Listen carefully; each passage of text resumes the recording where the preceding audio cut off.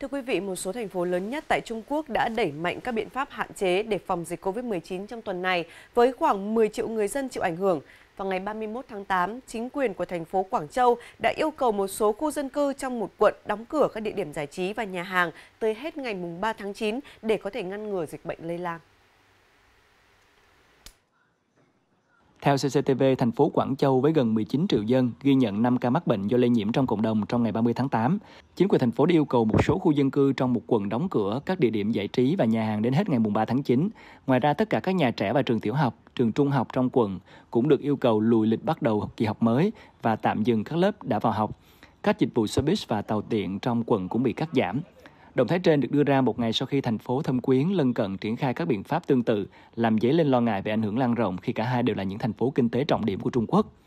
Tại Thâm Quyến, ít nhất 4 quận mới với tổng số dân là khoảng 9 triệu người được yêu cầu đóng cửa các địa điểm giải trí, văn hóa và tạm dừng hoặc giảm dịch vụ nhà hàng trong vài ngày.